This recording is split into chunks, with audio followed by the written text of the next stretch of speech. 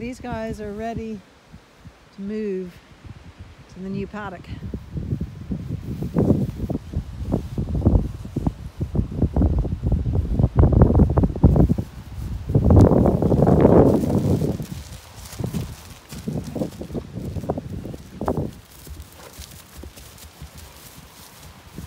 And there, they're in the new paddock.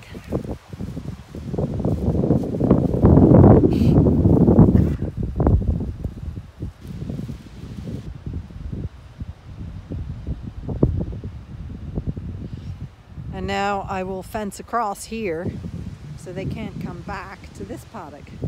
They were in that paddock over there. They've had two days in here. Now they're going to be two days in there. Marco Polo is going like, uh, I missed something.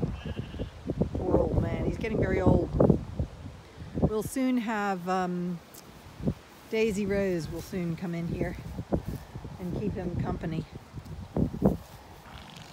But see, I will have to bring this across so that the horses, you can see there bits of manure are everywhere and dung beetles. There's evidence of dung beetles. You can see that hole right there, dung beetle. And this is fresh manure and you can see the golden flies in it.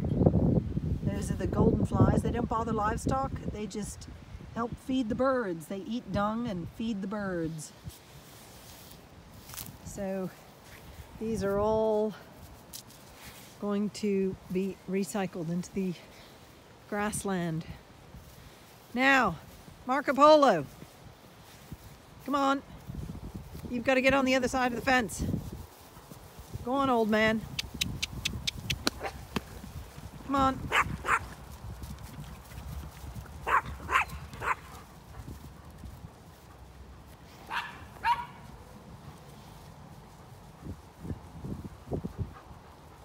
There we go. Brindle, leave it. Good girl. Good girl. Good girl.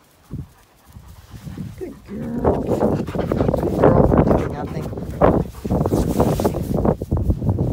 Okay, so now I have to fence the fence them off. Ah ah. Good girl. Good girl. So now you can see the dogs are in the paddock with the fresh horse manure from the last two days and the horses can't go back there. So that gives the field recovery time all the way across that bit of land. And they'll be here for two or three days. There's plenty of grazing in here.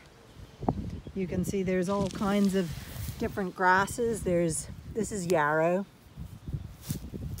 Um, this is cocksfoot. This is, uh, oh, I can't remember. This is a meadow, this might be a meadow fescue. So there's all kinds of things. Yes, there's buttercups, which horses don't eat, but that's okay. Um, there's thistles, which the horses will eat the tops off of. Uh, what else is there here? There's all, a whole variety of different grasses. See if I pick that grass and that grass, you've got two different grass heads there. And that's with hardly looking. There's, here's a, uh, another grass. So that's three different grass heads.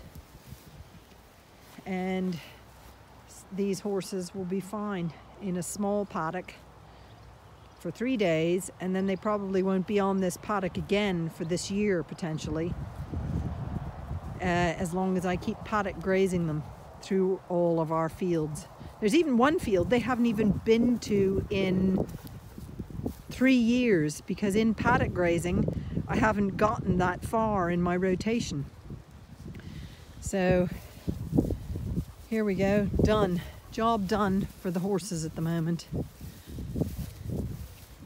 Now, I don't turn the electric on yet because herself, come on, has to come over the gate. And these guys come under. You coming, Inca? Come on. Come on, Ink. You staying under there. And I turn on my solar powered electric fencing unit. Are you coming? Come on. Come on. What are you doing? Are you coming? There you go, you clever pup. Aren't you so clever? Yeah. Yeah. Here are some of the apple trees that I planted recently. Here's another one there, one here, another there.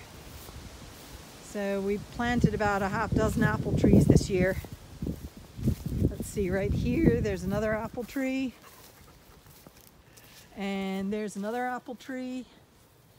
And here's another apple tree. And I think this is the seventh apple tree.